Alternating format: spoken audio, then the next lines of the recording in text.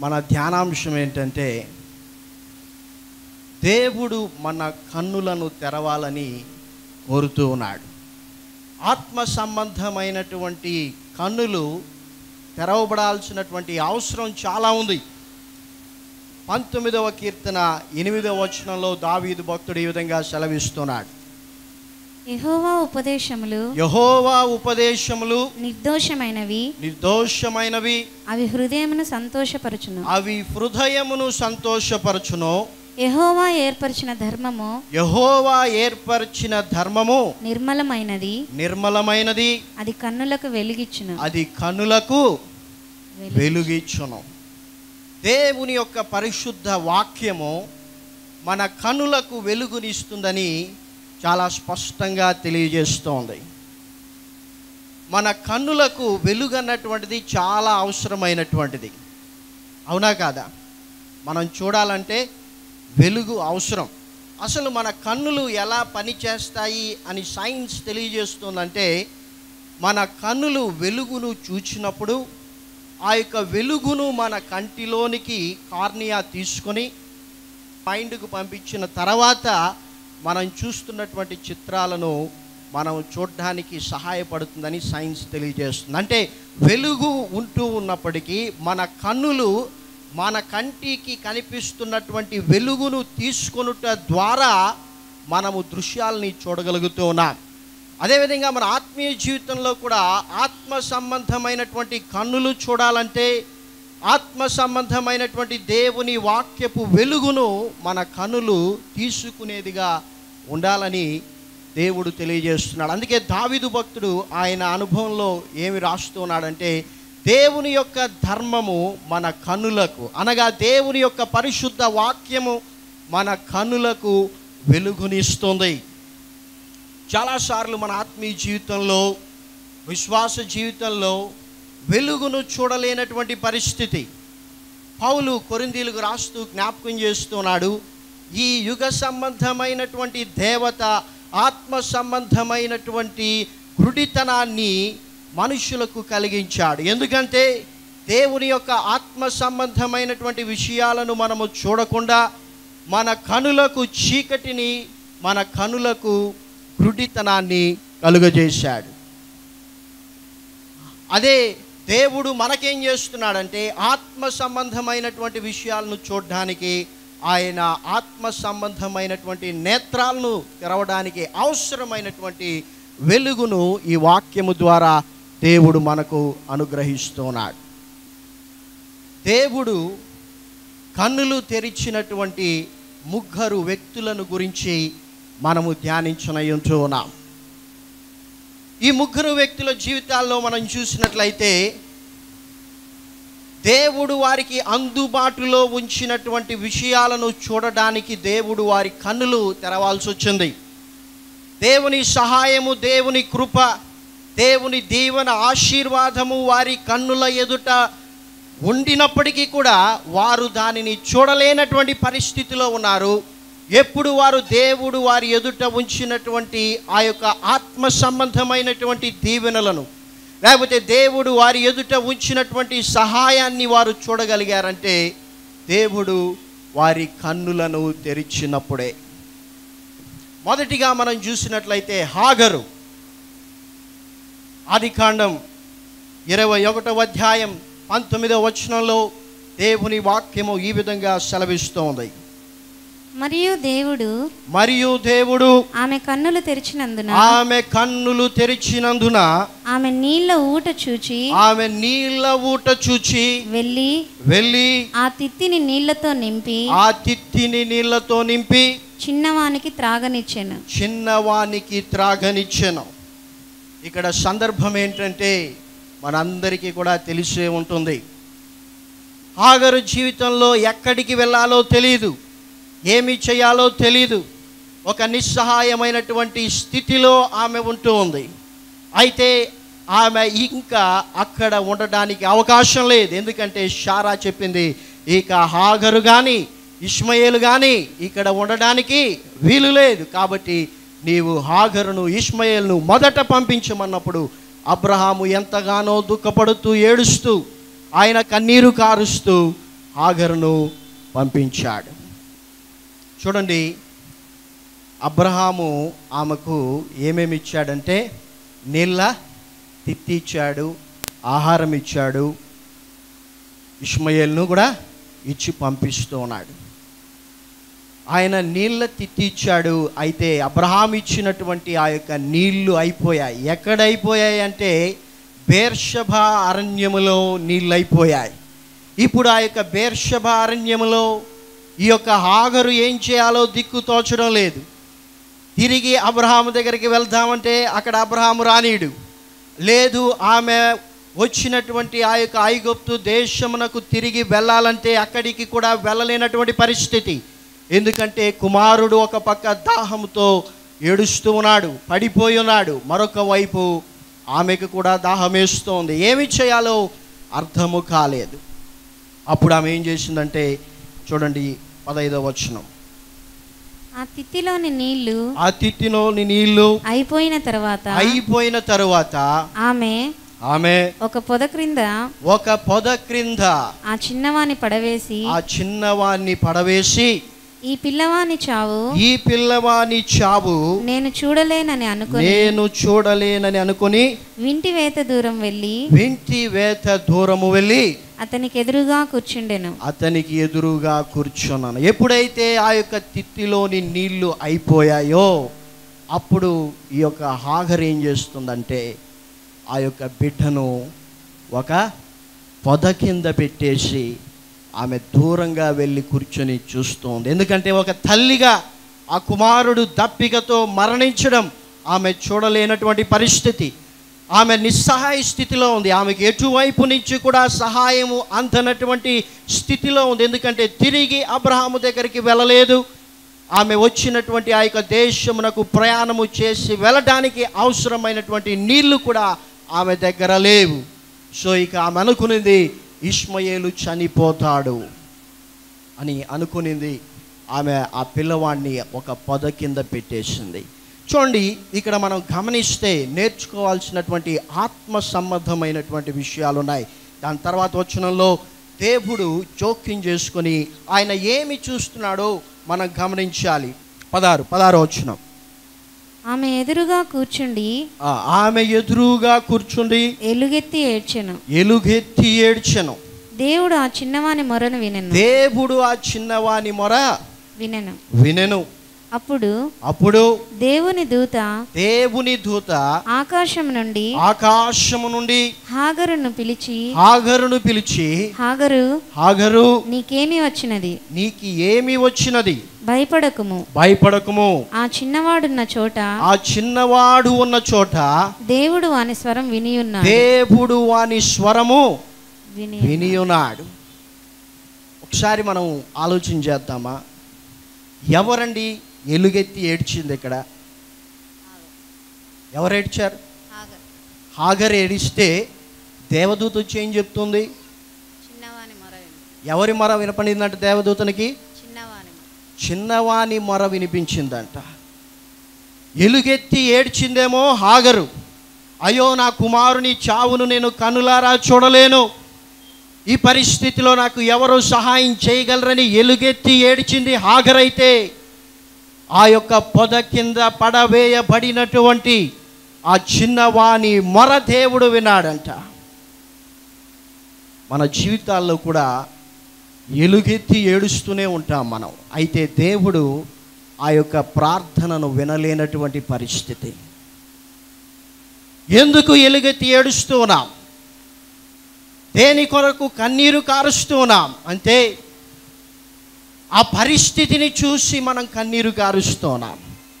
ఆ పరిస్థితిని చూచి ఎలుగెత్తి ఏడుస్తున్నాం కానీ మన జీవితంలో ఎందుకు ఆ పరిస్థితిని దేవుడు అనుమతించాడో ఎందుకు దేవుడు ఆ పరిస్థితి గుండా నిన్ను నడిపిస్తూ ఉన్నాడో అన్నటువంటి విషయాన్ని గురించి ఆలోచించడం మనం మర్చిపోతూ ఉన్నాం. ఏషావు ఎలుగెత్తి ఏడ్చాడు. ఎందుకు ఏడ్చాడంటే తండ్రి నన్ను దీవించు ప్రభువా. నన్ను ఆశీర్వదించిన ఆయన అని ఏషావు ఎలుగెత్తి ఏడ్చాడు కానీ ఆయన జీవితంలో దేవుడు ఆయనకి ఇచ్చినటువంటి ఆధిక్యతను ఒక పూట కూటి కొరకు అమ్మి వేసుకున్నాడు అన్నటువంటి విషయాన్ని మరిచిపోయాడు. ఆయన చేసినటువంటి తప్పును బట్టి ఆయన ఏడవడం లేదు.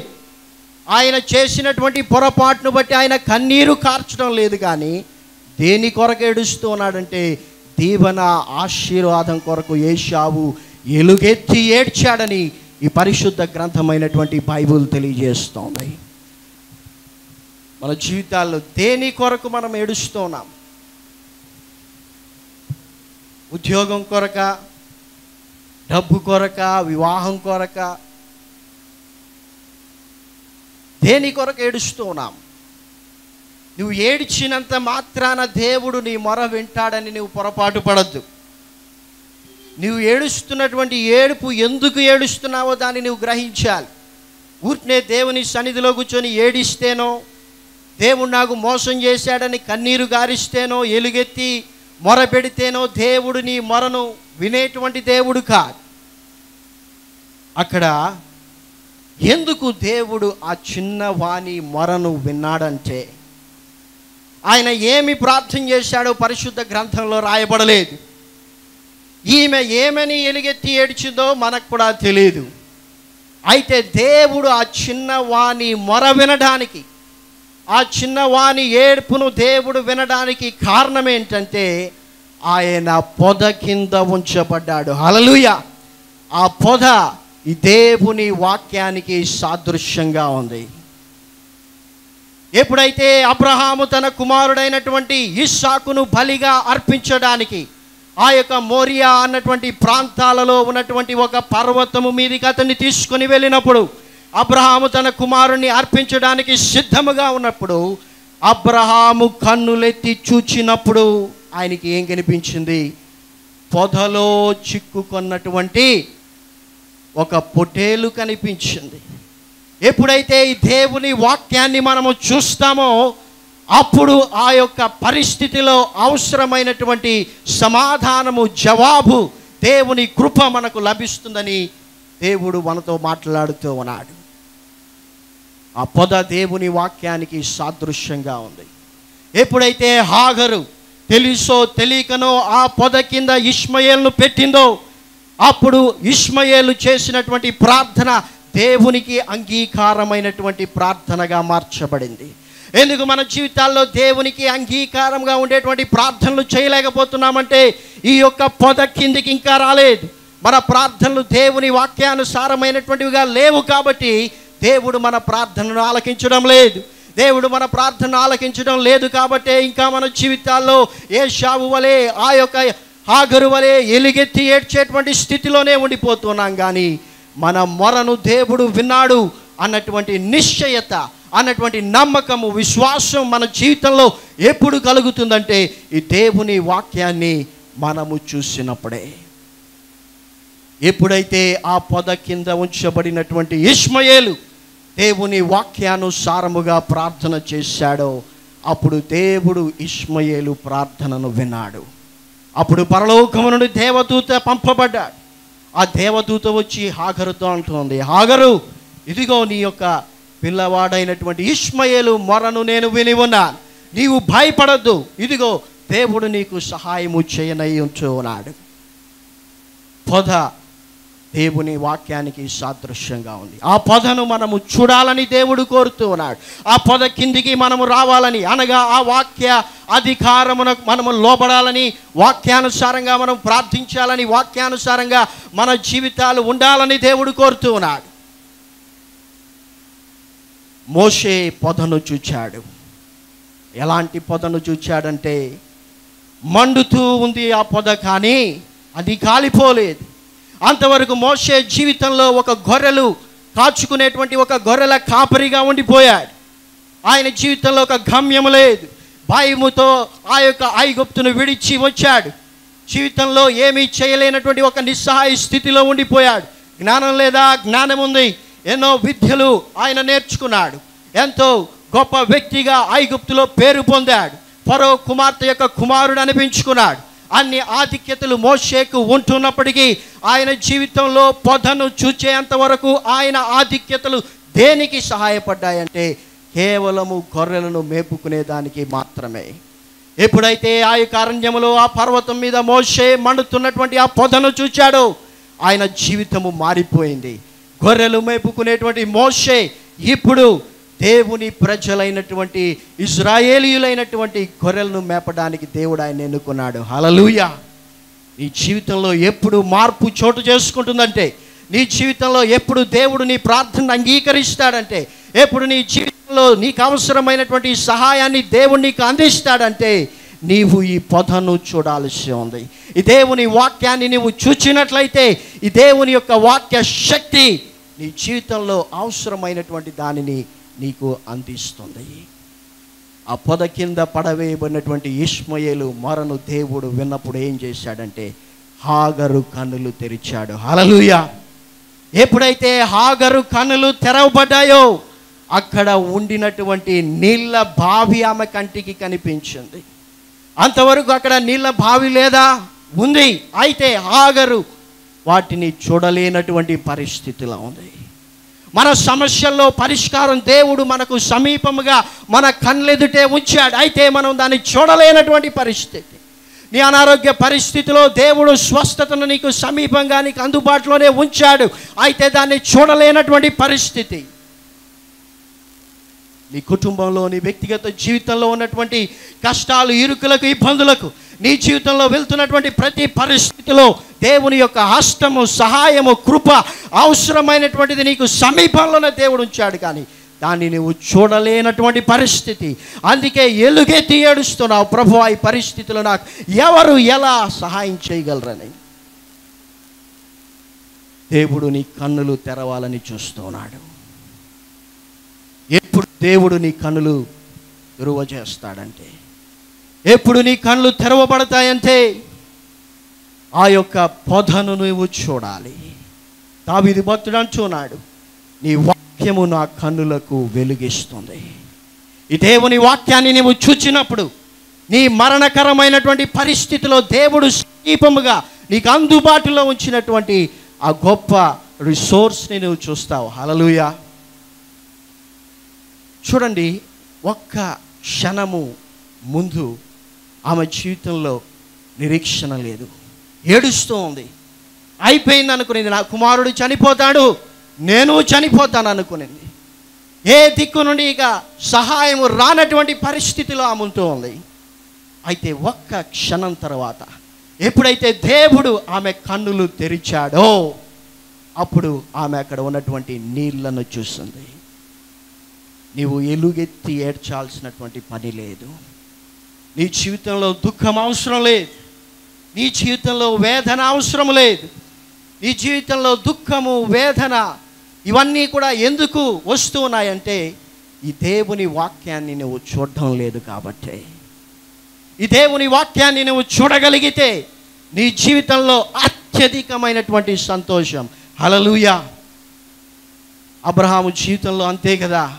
ఒకవేళ ఆయన కన్నులెత్తి ఆ పొదను చూడకుండా ఉండి ఉంటే తన కుమారుడైనటువంటి సాకునే బలిగా ఇచ్చేవాడేమో. ఎప్పుడైతే అబ్రహాము కన్నులెత్తి చూచాడో పొదను అప్పుడు అక్కడ ఆయనకు ఒక రిసోర్స్ కనిపించింది.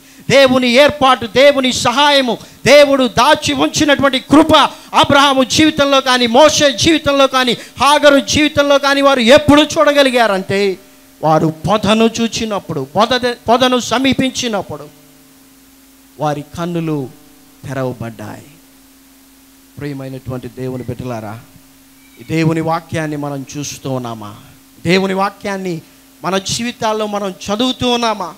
దేవుడు నీ కొరకు దాచి ఉంచినటువంటి సహాయాన్ని నీ జీవితంలో చూడగలుగుతూ ఉన్నావా? లేకపోతే సహాయము కళ్ళెదుటే పెట్టుకొని ఇంకా నీ జీవితంలో దుఃఖపడుతూ ఎలుగెత్తి ఏడుస్తూ నిస్సహాయ స్థితిలో పడిపోయి ఉన్నావా అని మన జీవితాలను పరిశీలన చేసుకోవాలి.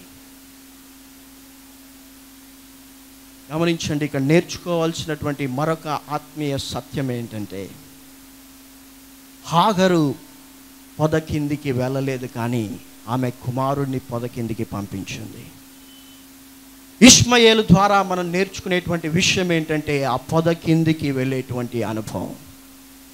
హాగరు నుండి మనం నేర్చుకునేటువంటి విషయం ఏంటంటే ఆమె ఆ తిత్తిని తీసుకొని ప్రయాణం చేస్తోంది. హలలుయ ఆ తిత్తి మన ఆత్మీయ జీవితానికి సాదృశ్యంగా ఉంది.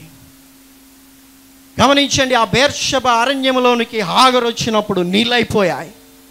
అది ఒక అరణ్య ప్రదేశమని అక్కడ నీళ్ళు దొరకవని హాగరుకు తెలిసే ఉంటుంది. ఎందుకంటే హాగరు ఆ మార్గము గుండా ఇది వరకే ప్రయాణం చేసింది. ఎందుకంటే ఆమె కూడా ఐగుప్తు నుండి అబ్రహాముతో ప్రయాణము చేసినటువంటి స్త్రీ. ఆమె జీవితంలో ఇక్కడ సహాయం దొరకదని ఆమెకు తెలుసు. ఆమె ఆ తిత్తిని పారవేయలేదు. హలలుయ ఇక్కడ ఇది అవసరం లేదు. ఎందుకు దీన్ని మోసుకొని వెళ్ళాలి? ఇది ఇక్కడ ఎందుకు పనికిరాదని ఆమె ఆ తిత్తిని పారవేయలేదు. ఒక అందుకే దేవదూత వచ్చి ఎప్పుడైతే హాగరు ఇదిగో ఇక్కడ నీళ్ళ బావి ఉందని చెప్పినప్పుడు ఆమె ఏం చేసింది? చూడండి ఆ మాటను చదవండి. ఇరవై ఒకటవ అధ్యాయం పంతొమ్మిదవ వచ్చినం మరియు దేవుడు ఆమె కన్నులు తెరిచినందున ఆమె కన్నులు తెరిచినందున ఆమె నీళ్ళ ఊట చూచి ఆమె నీళ్ళ ఊట చూచి వెళ్ళి వెళ్ళి ఆ తిత్తిని నీళ్ళతో నింపి ఆ తిత్తిని నీళ్ళతో నింపింది. ఆమె దగ్గర ఉన్నటువంటి తిత్తిని నీళ్ళతో నింపి ఏం చేసింది? చిన్నవానికి త్రాగనిచ్చి చిన్నవానికి రాగనిచ్చింది ఆ తిత్తి లేకపోతే చిన్నవాడు నీళ్ళు తాగలేనటువంటి పరిస్థితి కూడా ఏమో. అందుకే ఆఖరు ఫస్ట్ పోయి ఆ తిత్తిని నీళ్ళతో నింపింది. ప్రియమైనటువంటి దేవుని బిడ్డలారా కొన్నిసార్లు మన జీవితాల్లో మన పరిస్థితులు ఎలా ఉంటాయంటే ఈ పరిస్థితిలో నీ ఆత్మీయ జీవితం ఎంత మాత్రము కూడా నీకు సహాయపడదు. కాబట్టి నీ ఆత్మీయ జీవితాన్ని విడిచిపెట్టు. ఎందుకు దేవునికి ప్రార్థన చేస్తావు ఎందుకు దేవుని వాక్యాన్ని నీవు చదువుతావు? ఎందుకు దేవుని మందిరానికి నువ్వు వెళుతావు? అన్నటువంటి పరిస్థితి నీ కళ్ళెదుట కనిపించవచ్చు. అయితే నీ జీవితంలో నేర్చుకోవాల్సిన ఆత్మ సంబంధమైనటువంటి సత్యం ఏంటంటే నీ ఆత్మీయ జీవితాన్ని నువ్వు విడిచిపెట్టవద్దు. ఎందుకంటే కంటికి అలానే కనిపించవచ్చు పరిస్థితులు అలానే అనిపించవచ్చు.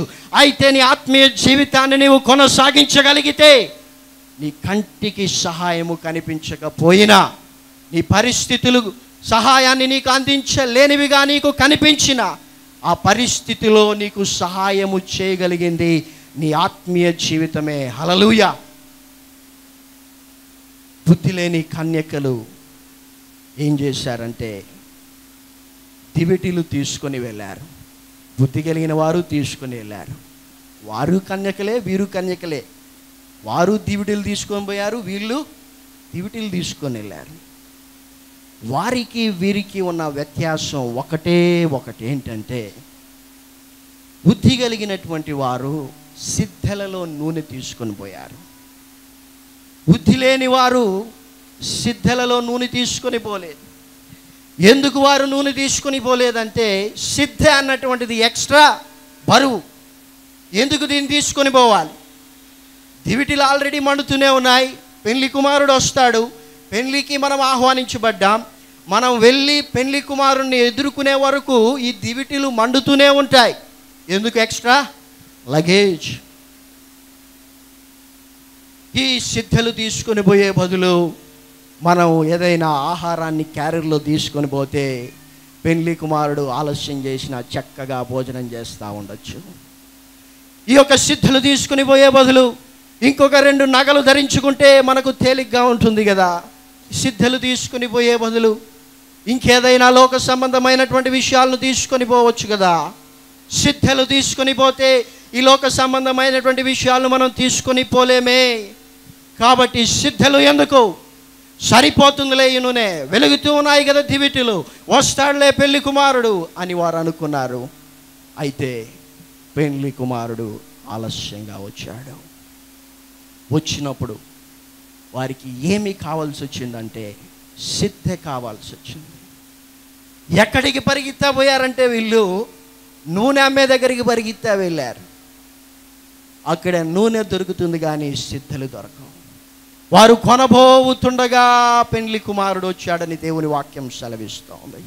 నూనె కొనగలిగినటువంటి డబ్బులు వాళ్ళ దగ్గర ఉన్నాయి. నూనె కొనగలిగినటువంటి సామర్థ్యం వారి దగ్గర ఉంది. అయితే అప్పటికి అందుబాటులో వారికి ఏమీ లేదంటే సిద్ధలు లేవు. ఎలా నూనెను తీసుకొని పోవాలి ఇప్పుడు వారు? ఈ ఆత్మీయ జీవితం అన్నటువంటిది చాలా ప్రాముఖ్యమైనటువంటిది. చాలామంది దేవుని వాక్యం వెలుగని నమ్మి దేవుని వాక్యాన్ని సంఖలో పెట్టుకొని పోతూ ఉంటారు. వాళ్ళు చేసింది అదే బుద్ధి లేని వాళ్ళు. వాక్యాన్ని పరుచుకున్నారు. దేవుని వాక్యం వెలుగని తెలుసు దేవుని వాక్యము శక్తి కలిగిందని తెలుసు. దాన్ని పట్టుకొని వెళ్ళారు కానీ ఆ వాక్య శక్తిని వారి జీవితాల్లో ఉంచుకోవడానికి అవసరమైనటువంటి సిద్ధలను వారు మర్చిపోయారు. వారి ఆత్మీయ జీవితాలను వారు విడిచిపెట్టారు. వారి ఆత్మీయ జీవితాలను వారు పట్టించుకోలేదు. కాబట్టి నూనెను ప్రిజర్వ్ చేసుకునేటువంటి స్థితిని వారు కోల్పోయారు. హాగరు జీవితంలో మనం నేర్చుకోవాల్సినటువంటి ఒక ఆత్మ సంబంధమైన విషయం ఏంటంటే ఆమె ఆ తిత్తిని తీసుకొని వెళ్ళింది. ఎక్కడికి వెళ్ళినా తీసుకొని వెళ్ళింది. ఏ స్థితిలో కూడా నీ ఆత్మీయ జీవితాన్ని నువ్వు విడిచిపెట్టవద్దు. ఏ స్థితిలో కూడా బైబుల్ని చదవడం నువ్వు మానివేయద్దు. ఏ పరిస్థితిలో కూడా ప్రార్థన చేయడం నువ్వు నిలిపివేయద్దు. ఎలాంటి పరిస్థితులు గుండా నువ్వు వెళ్తున్న దేవుని మందిరానికి రాకుండా నీవు ఆగిపోవద్దు. ఎందుకంటే నీ కష్ట పరిస్థితుల్లో నీ ఇరుకైనటువంటి పరిస్థితుల్లో నీ ఇబ్బందులలో కంటికి సహాయము కనిపించినటువంటి పరిస్థితిలో నీ కన్నులను తెరవజేసేటువంటిది ఈ దేవుని పరిశుద్ధ వాక్యమైతే దేవుడు నీ కన్నులను తెరిచినటువంటి తర్వాత దేవుని సహాయాన్ని నీ జీవితంలో పొందుకోవడానికి నీ ఆత్మీయ జీవితమే సహాయపడుతుంది. రెండవ వ్యక్తిని మనం చూసినట్లయితే రాజుల గ్రంథం రెండవ రాజుల గ్రంథం ఆరవ అధ్యాయం పదిహేడవ వచనాన్ని మనం చూద్దాం. యెహోవా వీడు చూచున్నట్లు వీడు చూచున్నట్లు దయచేసి దయచేసి వీని కళ్ళను తెరవమని వీడి కన్నులను తెరవమని ఎలీషా ప్రార్థన చేయగా ఎలీషా ప్రార్థన చేయగా యెహోవా యెహోవా ఆ పనివాని కళ్ళను ఆ పనివాని కనులను తెరవ చేసెను తెరవ చేసను హల్లెలూయా కనుక వాడు ఎలీషా చుట్టూను. వాడు ఎలీషా చుట్టూను. పర్వతము అగ్ని గుర్రముల చేత. పర్వతము అగ్ని గుర్రముల చేత. రథముల చేతను. రథముల చేతను. నిండి ఉండుట చూచెను. నిండి ఉండుట చూచను. ఇక్కడ సందర్భం ఏంటంటే ఎలీషా ప్రవక్త దేవుని యొక్క సహాయాన్ని చూడగలుగుతున్నాడు. దేవుని యొక్క ప్రొవిజన్ని దేవుని యొక్క రిసోర్స్ని ఆయన చూడగలుగుతున్నాడు.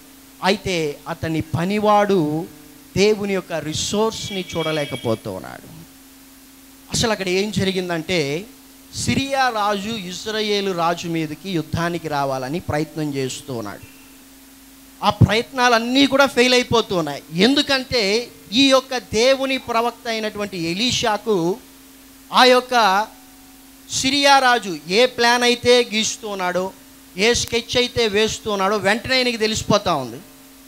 ఈయన ఏం చేస్తున్నాడు? ఇజ్రాయేల్ రాజు దగ్గరకు వచ్చి ఇదిగో పలాని స్థలంలో సిరియా రాజు వస్తున్నాడు. కాబట్టి నీవు అక్కడికి వెళ్ళద్దు వెళితే వారు నిన్ను పట్టుకునేస్తారని చెప్తూ వస్తున్నాడు. ఈ యొక్క సిరియా రాజుకు అర్థం కాలేదు. ఏంటి? ఇన్ని స్కెచ్లు వేసినా ఇన్ని ప్లాన్లు వేసినా ఎలా ఇజ్రాయేల్ రాజు తప్పించుకోగలుగుతున్నాడు?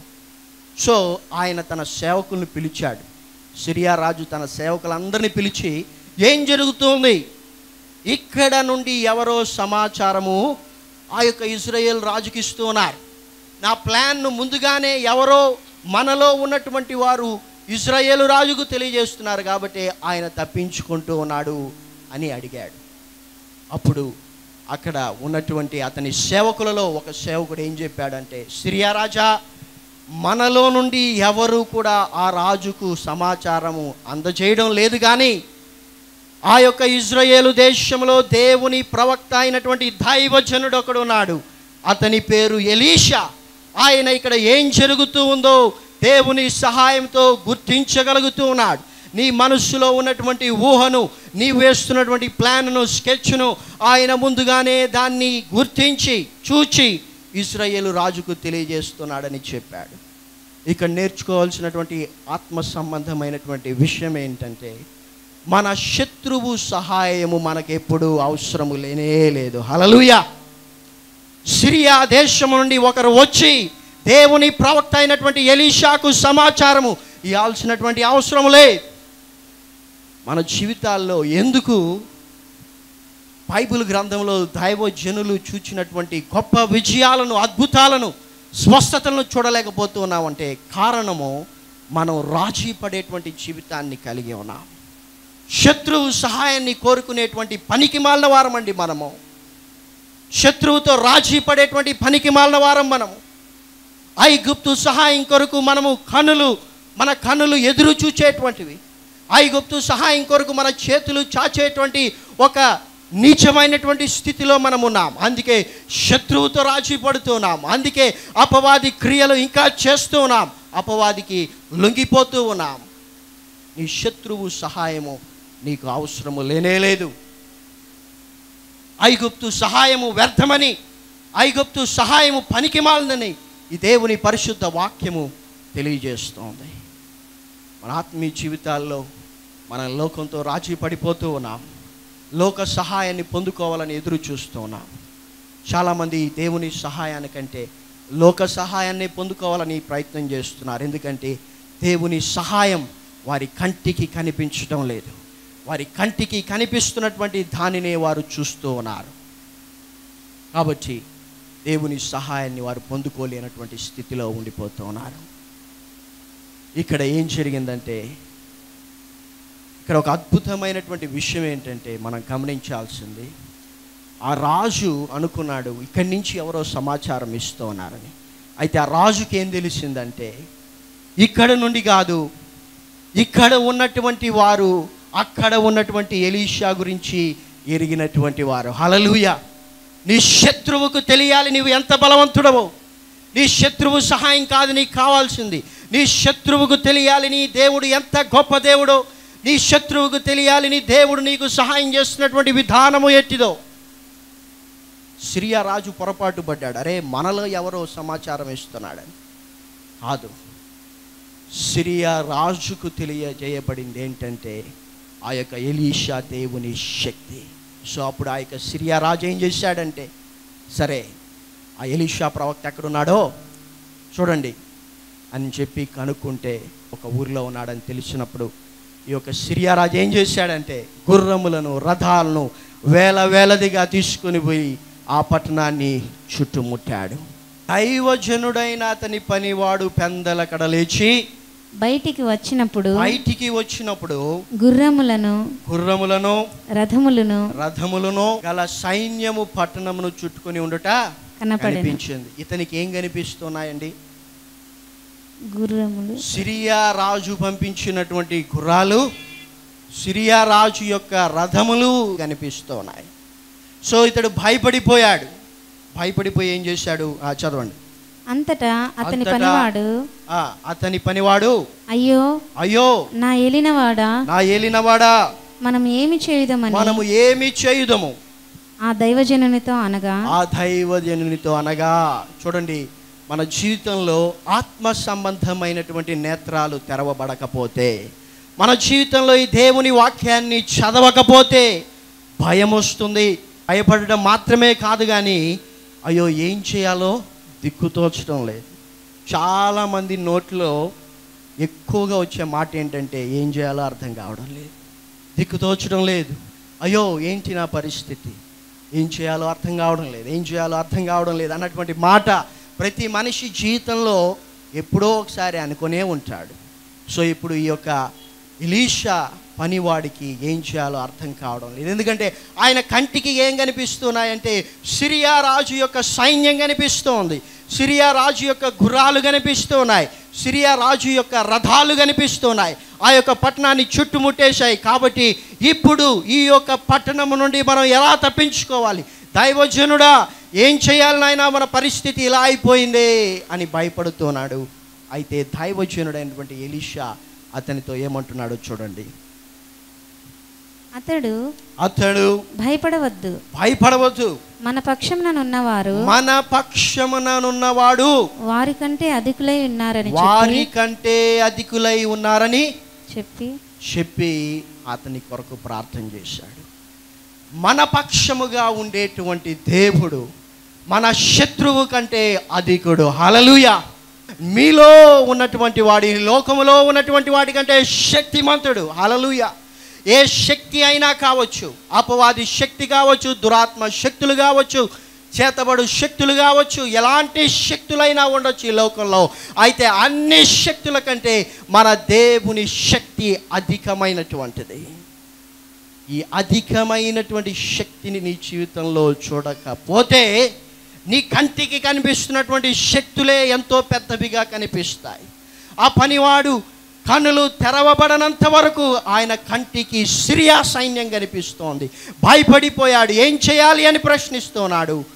దిగులు పడ్డాడు. అయితే ఎలీషా చెప్తూ ఉన్నాడు నీవు భయపడవద్దు. మన పక్షమున ఉన్నటువంటి వారు వారి కంటే అధికులై ఉన్నారు. అయ్యో దైవజనుడా ఏంటి నువ్వు అలా మాట్లాడుతున్నావు? కంటికి అంత చక్కగా కనిపిస్తున్నాయే. ఈ యొక్క సిరియా సైన్యము మనల్ని చుట్టుముట్టేసింది. ఇప్పుడు ఎలా తప్పించుకుంటాం? ఏంటి నువ్వు అలా మాట్లాడుతూ ఉన్నావని ఆయన ప్రశ్నించే లోపే దైవజనుడు అతని కొరకు ప్రార్థన చేశాడు. ఎప్పుడైతే దైవజనుడు ప్రార్థించినప్పుడు ఆ పనివాని కన్నులు తెరవబడ్డాయో అతనికి కనిపిస్తున్నాయి. ఇప్పుడు ఏం కనిపిస్తున్నాయంటే అగ్ని గుర్రములు అగ్ని రథములు. హలలుయ ఈ యొక్క సిరియా సైన్యము సామాన్యమైనటువంటి గుర్రములు. సామాన్యమైనటువంటి రథములతో వారు చుట్టుముట్టారు కానీ అయితే ఆ పట్టణము చుట్టూ దేవుడు అతని కన్నులు తెరవజేసినప్పుడు అతనికి కనిపిస్తూ ఉన్నటువంటిది ఏంటిదంటే అగ్ని గుర్రములు అగ్ని రథములు అగ్ని సైన్యము ఆత్మ సంబంధమైనటువంటి దేవుని సహాయము దేవుని కృప దేవుని ఏర్పాటు అతడు చూడగలిగాడు. అప్పుడు ఆయనకి అర్థమైంది దేవుడు మనకు సహాయం చేస్తాడు. ఈ పరిస్థితిలో ఇక భయపడాల్సినటువంటి అవసరం లేదు. ఈ పరిస్థితులకి దిగులు పడాల్సినటువంటి అవసరం లేదు. ఈ యొక్క యుద్ధము మనం చేయాల్సినటువంటి అవసరం లేదు. ఎందుకంటే మన పక్షంగా దేవుడు యుద్ధం చేయడానికి ఆయన సైన్యాన్ని తీసుకుని వచ్చాడని అతడు గ్రహించగలిగాడు. ఎంతసేపు నీ సమస్యలనే నువ్వు చూస్తూ ఉంటావు? ఎంతసేపు నీ కష్టాలను ఇరుకులను ఇబ్బందులనే నీవు లక్ష్య పెడుతూ ఉంటావు? ఎంతసేపు నీ ఆర్థిక ఇబ్బందులనే నీవు గుర్తిస్తూ ఉంటావు? ఎంతసేపు నీ ఈ లోక సంబంధమైనటువంటి విషయాలనే చూస్తూ ఉంటా. ఈ లోక సంబంధమైనటువంటి విషయాలు నీవు చూస్తూ ఉన్నంత వరకు ఆత్మ సంబంధమైనటువంటి విషయాలు నువ్వు చూడలేవు. ఆత్మ సంబంధమైనటువంటి విషయాలు ఆత్మ సంబంధమైనటువంటి దీవెన ఆశీర్వాదం దేవుని యొక్క ప్రొవిజన్ దేవుని యొక్క రిసోర్స్ అన్నటువంటిది ఎక్కడో నీకు దూరంలో లేదు.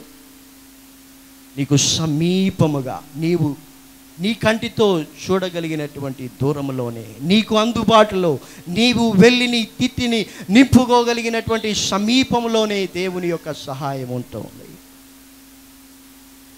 నీ కష్టాల్లో దేవుణ్ణి ఎందుకు ప్రశ్నిస్తూ ఉన్నావంటే నీ శ్రమలో ఎందుకు నీవు కృంగిపోతూ ఉన్నావంటే నీ ఇబ్బందుల్లో ఎందుకు నీవు దేవుని మీద సనుగుతూ గొనుగుతూ ఉన్నావంటే దేవుని దీవెన ఆశీర్వాదము నీ జీవితంలో పొందకుండా ఉండడం చూచి ఎందుకు నీ ఆత్మీయ జీవితాన్ని అమ్మివేసుకుంటూ ఉన్నావు? లేకపోతే విడిచిపెడుతూ ఉన్నావు? ఎందుకు నిర్లక్ష్యం చేస్తున్నావు అంటే నీ ఆత్మ సంబంధమైనటువంటి నేత్రాలను అపవాది మూసేశాడు. గురుడితనాన్ని నీకు కలుగజేశాడు.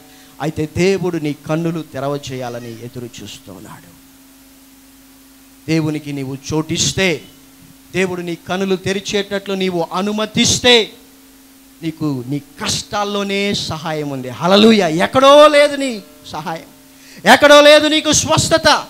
ఎక్కడో నుంచి నీకు సహాయం రావాల్సినటువంటి అవసరం లేదు. ఎలాంటి పరిస్థితులు అయినా ఎలాంటి పరిస్థితుల గుండానే వెళ్తూ ఉన్నా ఎక్కడ ఉన్నా ఏం చేస్తూ ఉన్నా దేవుని సహాయం నీకు అందుబాటులో నీకు దగ్గరలోనే ఉందన్నటువంటి విషయాన్ని నీవు మరచిపోతున్నావు చూడలేనటువంటి స్థితిలో ఉండిపోతున్నావు కారణం ఏంటంటే దేవుని వాక్యాన్ని చదవడం లేదు. నీ కష్టాల్లో దేవుని వాక్యాన్ని చదివి చూడు నీకు కనిపిస్తుంది అక్కడే ఒక సొల్యూషన్. నీ వ్యాధిలో నీ బాధలో నీ ఇరుకులు ఇబ్బందులలో దేవుని పరిశుద్ధ వాక్యాన్ని నీవు చదివి చూడు అక్కడే అందులో నీకు సమీపంలోనే దేవుని సహాయం ఉంటుంది. ఎందుకు నీ ఇబ్బందులలో మనుషుల వైపు నీవు తిరుగుతా? ఎందుకు ఐగుప్తు వైపు నీవు మగ్గుతా? ఎవరు నీకు సహాయము చేయలేనటువంటి పరిస్థితిని నువ్వు కలిగి ఉన్నావు? హాగరుకు సహాయం చేయడానికి ఆ పరిస్థితిలో ఎవరు లేరక్కడ ఎవరు కూడా చేయలేరు. ఇక్కడ కూడా అంతే. ఈ యొక్క ఎలీషాను దేవుడు రక్షించాలంటే ఆ యొక్క ఇజ్రాయేలు రాజు సహితము ఎలీషాను రక్షించలేనటువంటి పరిస్థితి కారణం ఏంటంటే వారు ఆల్రెడీ వారు ఉంటున్నటువంటి పట్టణాన్ని చుట్టుముట్టారు. ఇక వారు తప్పించుకొని బయటికి వెళ్ళలేరు. వారి సైన్యాలు వారి రథాలు వారి గుర్రాలు సిద్ధపడి లేవు. ఇప్పుడు ఎక్కడి నుంచి సహాయం రావాలంటే పైనుండి మాత్రమే సహాయము రావాలి.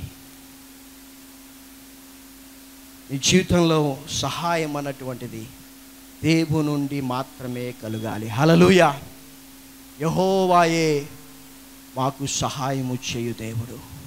యహోవా వలననే మాకు సహాయము కలుగుతుందని భక్తుల జీవితంలో వారు చెప్పగలిగారు. ఎందుకంటే వారి జీవితాల్లో అన్ని దిక్కుల నుండి వచ్చేటువంటి సహాయాన్ని వారు చూచారు. ఆ సహాయం ఎందుకు పనికిరాందని వారు గుర్తించగలిగారు.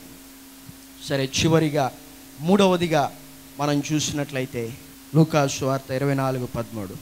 ఇదిగో ఆ దినమందే ఇదిగో ఆ దినమందే వారిలో ఇద్దరు వారిలో ఇద్దరు ఎరుషలేమునకు ఎరుషలేమునకు ఆమడ దూరమున ఉన్న ఆమడు దూరమున ఉన్న ఎమ్మాయి అను ఒక గ్రామునకు వెళ్ళుచు. ఎమ్మాయి అను ఒక గ్రామమునకు గ్రామము. వెలుచు జరిగిన ఈ సంగతులన్నిటిని గూర్చి జరిగిన ఈ సంగతులన్నిటిని గురించి ఒకరితో ఒకరు ఒకరితో ఒకరు సంభాషించుచుండిరి. సంభాషించుచుండిరి. వారు సంభాషించుచు వారు సంభాషించుచు ఆలోచించుకొనుచుండగా ఆలోచించుకొనుచుండగా యేసు తానే దగ్గరకు వచ్చి యేసు తానే దగ్గరికి వచ్చి వారితో కూడా నడిచెను. వారితో కూడా నడిచెను. అయితే అయితే వారు ఆయనను వారు ఆయనను గుర్తుపట్టలేకుండా గుర్తుపట్టలేకుండా వారి కన్నులు మూయబడెను. వారి కన్నులు మూయబడెను. ఇక్కడ సందర్భం ఏంటంటే ప్రియమైనటువంటి దేవుని బిడ్డలారా అపవాది ఎప్పుడూ కూడా క్రీస్తును చూడకుండా ఈ దేవుని వాక్యాన్ని చూడకుండా మన కన్నులకు గురుడితనాన్ని కలుగు చేస్తూ ఉంటారు.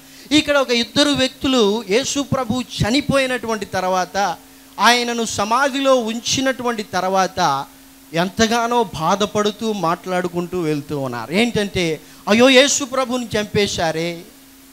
ఆయన ఎంత మంచి దేవుడు ఎంతమందికి ఆయన అద్భుతాలు చేశాడు ఎంతమందిని ఆయన స్వస్థపరిచాడు. నిజంగా అంత మంచి దేవుణ్ణి చంపడానికి వీరికి ఎలా మనసు వచ్చింది? అయ్యో యేసు ప్రభుని చంపేశారే ఆయన మన మధ్యలో ఉంటే ఎంత బాగుండేది అని వారు బాధపడుతూ మాట్లాడుకుంటూ వెళ్తూ ఉన్నారు. అక్కడ అకస్మాత్తుగా యేసు ప్రభు వారికి కనిపించాడు. ఏంటయ్యా దేని గురించి మాట్లాడుతూ ఉన్నారని అడిగితే ఆయన యేసు అని వారు గుర్తుపట్టలేదు. యేసుతో మాట్లాడుతూ ఉన్నారు యేసును చూస్తూ ఉన్నారు. అయినా వారి జీవితాల్లో దుఃఖం కారణం ఏంటంటే ఇంకా వారి జీవితంలో ఏడుస్తూ ఉన్నారు. కారణం ఏంటంటే యేసు అని వారు గుర్తించలేనట్లుగా వారి కన్నులు మోయబడ్డాయి. మన జీవితంలో కూడా ఎప్పుడు ఏడుస్తూనే ఉంటాం. దేవుడు మన ప్రక్కనే ఉంటాడు. దేవుడు మన కళ్ళు ఎదుటే ఉంటాడు. దేవుని సహాయం మనకు అందుబాటులోనే ఉంటుంది. అయితే కూడా ఇంకా ఎందుకు మనం ఏడుస్తూ దుఃఖపడుతూ? దేవుడు సహాయం చేయలేదే. ఎస్ఐ ఏమయ్యాడు? ఆయన చనిపోయాడు. ఆయన శవం కూడా సమాధిలో కనబడడం లేదే. ఉదయాన్నే లేచి కొంతమంది స్త్రీలు వెళ్ళి చూచి వచ్చారు. ఆయన శవము కనిపించలేదు. అయితే ఒక దేవదూత వారికి కనిపించి ఈ యేసు లేచి ఉన్నాడని చెప్పాడు. అయితే లేచి ఉన్నటువంటి యేసు కనిపించడం లేదు. అని వారు ప్రశ్నిస్తూ బాధపడుతూ ఉన్నారు. ఎందుకో తెలుసా? వారి కన్నులు మూయబడ్డాయి. నీ కష్టాల్లో ఇరుకుల్లో ఇబ్బందుల్లో దేవుడు నీతో మాట్లాడడానికి నీ ముందొచ్చాడు. అయితే ఆయన నీ కంటికి కనిపించడం లేదు. ఆయన నీకు సహాయం చేయాలని అక్కడే సహాయాన్ని ఒక రిసోర్స్ని దేవుడు ఉంచాడు. అయితే ఆ సహాయం నీ కంటికి కనిపించడం లేదు. కారణం ఏంటంటే నీ కన్నులు మూయబడ్డాయి. ఎందుకు నీ కన్నులు మూయబడ్డాయి అంటే ఈ దేవుని పరిశుద్ధ వాక్యాన్ని నీవు ప్రతిరోజు చదవడం లేదు. నీవు ప్రతిరోజు ఈ దేవుని పరిశుద్ధ వాక్యాన్ని చదవగలిగితే నీ కన్నులు తెరవబడతాయి. నీ కన్నులు తెరవబడితే నీ ఎదుట ఉంచబడినటువంటి యేసుని నీవు గుర్తించగలుగుతావు. యేసుని నీవు గుర్తించినప్పుడు నీకు అందుబాటులో దేవుడు ఉంచినటువంటి ఆ యొక్క సహాయాన్ని ఆ రిసోర్స్ని ఆ ప్రొఫెషన్ని నువ్వు చూడగలుగుతావు. నీ ఆత్మీయ జీవితాన్ని నీవు కలిగి ఉంటే దేవుడు నీ కొరకు అందుబాటులో ఉంచినటువంటి ఆ యొక్క సహాయాన్ని నీ జీవితంలో అనుభవించగలుగుతావు. ఒక సువార్త ఇరవై నాలుగవ అధ్యాయం ముప్పై వచనం. ఆయన వారితో కూడా భోజనమునకు కూర్చున్నప్పుడు ఆయన వారితో కూడా భోజనమునకు కూర్చుండినప్పుడు ఒక రొట్టెను పట్టుకొని ఒక రొచ్చెను పట్టుకొని స్తోత్రం చేసి స్తోత్రము చేసి దాన్ని విరిచి దాన్ని విరిచి వారికి పంచిపెట్టగా వారికి పంచి పెట్టగా వారి కన్నులు తెరవబడి వారి కన్నులు తెరవబడి ఆయనను గుర్తుపట్టిరి. ఆయనను గుర్తుపట్టిరి. చాలు. హలలుయ ఎప్పుడు వారు గుర్తించగలిగారంటే ఈయన యేసు. చనిపోయినటువంటి యేసు తిరిగి సజీవుడై లేచాడు. ఆయన మృత్యుంజయుడు ఆయన తిరిగి లేచినటువంటి దేవుడని వారు ఎప్పుడు గుర్తించగలిగారంటే యేసు ఒక రొట్టెను విరిచి వారికి ఇచ్చినప్పుడు. ఆ రొట్టె దేవుని వాక్యానికి సాదృశ్యంగా ఉంది. ఎప్పుడైతే దేవుని వాక్యాన్ని నీవు పూజిస్తావో ఆయన సజీవుడైనటువంటి దేవుడని నీ నిర్జీవ పరిస్థితిలో ఆయన సహాయం చేయగలిగినటువంటి దేవుడని నీవు గుర్తించగలుగుతావు. గురి లేని నీ జీవితానికి ఒక గురి రావాలన్నా లక్ష్యము లేనటువంటి నీ జీవితంలో ఒక లక్ష్యాన్ని నీవు కలిగి ఉండాలన్నా ఆ యొక్క బోధను నీవు చూడాలి. మోసే నిస్సహాయ పరిస్థితిలో ఉండిపోయాడు. ఎందుకు పనికి రాకుండా గొర్రెలు మేపుకుంటూ ఉన్నాడు? పొదను చూచినప్పుడు మోసే జీవితంలో అద్భుతము జరిగింది. దేవుని సహాయము శక్తిని ఆయన పొందుకున్నాడు. ఒక భయముతో ఆయన ఐగుప్తును విడిచాడు. అయితే ధైర్యంతో తిరిగి అదే ఐగుప్తుకు వెళ్ళాడు. ఏ ఐగుప్తులో అయితే దేవుని ప్రజలను నేను రక్షించలేనని కృంగిపోయి కుమిలిపోయి ఆయన ఐగుప్తుని విడిచి వచ్చాడు. అదే మోషే ఆ యొక్క మండుచున్నటువంటి పొదను చూచినప్పుడు దేవుని యొక్క శక్తిని పొందుకొని నశించిపోతున్నటువంటి దేవుని ప్రజలైనటువంటి ఇజ్రాయేలీలను ఐగుప్తు నుండి తీసుకొని రావడానికి శక్తిని పొందుకున్నాడు. ప్రియమైనటువంటి దేవుని బిడ్డ నీ జీవితంలో దేవుని శక్తిని కోల్పోయి నీ సాయి స్థితిలో పడిపోయి ఉంటే చూడు ఈ దేవుని వాక్యాన్ని చదువు ఈ దేవుని వాక్యాన్ని. యేసు నీకు కనిపించగలిగితే ఈ వాక్య శక్తిని నీ జీవితంలో పొందుకోగలిగితే నీ జీవితంలో నీవు దేన్నైతే చేయలేను దేన్నైతే పొందుకోలేను ఇది నా వల్ల కాదని నీవు అనుకుంటావో దాన్ని పొందుకునేటువంటి శక్తిని కృపను దేవుడు నీకు అనుగ్రహిస్తాడు. అబ్రహాము జీవితంలో అదే వాస్తవం. కుమిలిపోయాడు కృషించిపోయాడు కన్న కొడుకును సొంత చేతులతో బలిపీఠం మీద కట్టాడు. ఏడుస్తూ ఉన్నాడు. ఏం చేయాలో దిక్కు తోచదు. బహుశా ఈ సాకు ఏడుస్తూ ఉండొచ్చు. తండ్రి ఇందుకే నన్ను తీసుకుని వచ్చావా? ఎందుకు నన్ను కట్టేస్తున్నావు? ఇందుకే నన్ను కన్నావా? అని ఆయన ప్రశ్నిస్తూ ఉండొచ్చు. అబ్రాహం యొక్క హృదయం కుమిలిపోయి ఉండొచ్చు. అయితే ఆయన పొధని చూచినప్పుడు ఆయన జీవితంలోనికి దేవుడు ఒక ప్రొవిజన్ని ఏర్పాటు చేశాడు. హలలుయ ఈ జీవితంలో కూడా దేవుడు ఒక ప్రొవిజన్ ఏర్పాటు చేశాడు. హాగర్ జీవితంలో ఒక ప్రొవిజన్ దేవుడు ఏర్పాటు చేశాడు. నీ సమస్యలో నీ కష్టంలో ఇరుకులో ఇబ్బందిలో నీ వ్యాధిలో ఆర్థికమైనటువంటి నీ సమస్యల్లో దేవుడు ఒక ప్రొవిజన్ నీ కొరకు ఏర్పాటు చేశాడు. ఆయన ఒకటి నీ కొరకు సిద్ధపరిచాడు. అయితే దాన్ని నీ జీవితంలో చూడలేకపోతున్నావు. కారణం ఏంటంటే దేవుని వాక్యాన్ని చదవడం లేదు. కారణం ఏంటంటే నీ ఆత్మీయ జీవితాన్ని ఎక్కడో వదిలిపెట్టావు విడిచిపెట్టావు. ఇది నాకు సహాయం చేయదని నిర్లక్ష్యం చేశావు. వారు యేసు అని ఎప్పుడు గుర్తుపట్టగలిగారంటే ఆయన ఎప్పుడైతే రొట్టెను విరిచాడో వారికి అర్థమైపోయింది ఈయన క్రీస్తు. ఎప్పుడైతే నీ వాక్యాన్ని చదువుతావో ఆ వాక్యము జీవము కలిగింది కాబట్టి మరణ స్థితిలో ఉన్నటువంటి నేను జీవింపజేయడానికి శక్తి కలిగినటువంటిది. హలలుయ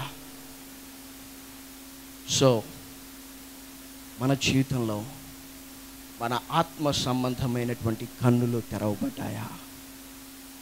ఎంతమంది ఇలాంటి అనుభవం కలిగి ఉన్నారు? ఎంతమంది హాగరు అబ్రహాము మోషే ఆ యొక్క ఇద్దరు కలిగినటువంటి అనుభవాలను కలిగి ఉన్నారు?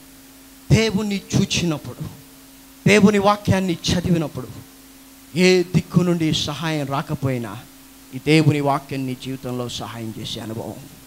ఆయన వాక్యాన్ని చూస్తే దేవుడు నీ కన్నులు తెరవజేస్తాడు. అర్థం చేసుకుందాం. పరలోకమందున మా తండ్రి మీ పరిశుద్ధమైన నామను వచ్చి మేము స్థుతిస్తున్నాం ప్రభా మీ వాక్యము మా కన్నులకు వెలుగని మీ వాక్యము మా కన్నులను తెరవజేస్తుందని ప్రభా మాతో మాట్లాడినందుకే మీకు స్తోత్రాలు చెల్లిస్తున్నాం. మీ సహాయం మీ యొక్క ప్రొవిజన్ మీ యొక్క రిసోర్స్ మీ యొక్క కృప మాకు అందుబాటులో ఉంచు ఉన్నప్పటికీ మా కష్టాల్లో ఇరుకులు ఇబ్బందులలో శ్రమలలో వేదనలలో అనారోగ్య పరిస్థితులలో ఆర్థికమైనటువంటి ఇబ్బందులలో మీరు ప్రభా మా కొరకు సిద్ధపరిచినటువంటి దాచి ఉంచినటువంటి ఒక మేలు మాకు అందుబాటులోనే ఉంది. అయితే మా జీవితాల్లో అనేక సార్లు ఆ యొక్క మేలును చూడలేనట్టుగా అపవాది మా కనులకు గురుడితనాన్ని కలుగజేసింది ప్రభా. మమ్మల్ని దయతో క్షమించండి.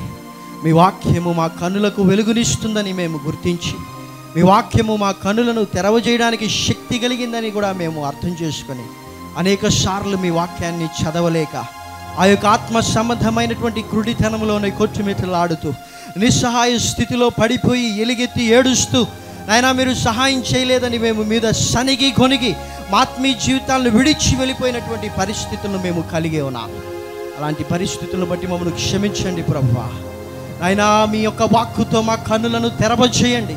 మీ వాక్యము ద్వారా మా కన్నులకు వెలుగును కలిగించండి ప్రభు మీ వాక్యాన్ని ప్రతిరోజు మేము చదవడానికి మీ వాక్యంలో ఉన్నటువంటి వెలుగును మా కనులు చూడడానికి తద్వారా మా ఆత్మ సంబంధమైనటువంటి కనులు తెరవబడి మా యొక్క సమీపంలో మీరు ఉంచినటువంటి మీ కృపను సహాయాన్ని మేము చూసి ఆ యొక్క సహాయాన్ని మా జీవితాల్లో వ్యక్తిగతంగా మేము అనుభవపూర్వకంగా పొందుకొని అనుభవించడానికి కావలసినటువంటి ఆత్మీయ జీవితాన్ని మేము కలిగి ఉండటం కావాల్సినటువంటి కృపను మాకు దయచేయండి ప్రభా ప్రతిరోజు మీ వాక్యాన్ని ఉదయం మేము చదువుతూ ఉండగా ఆ మీ వాక్యంలో ఉన్నటువంటి గొప్ప ఆశ్చర్యమైనటువంటి సంగతులను చూచినట్లు మా కనులను తెరవమని యేసు క్రీస్తు నామమున ప్రార్థిస్తున్నాను తండ్రి.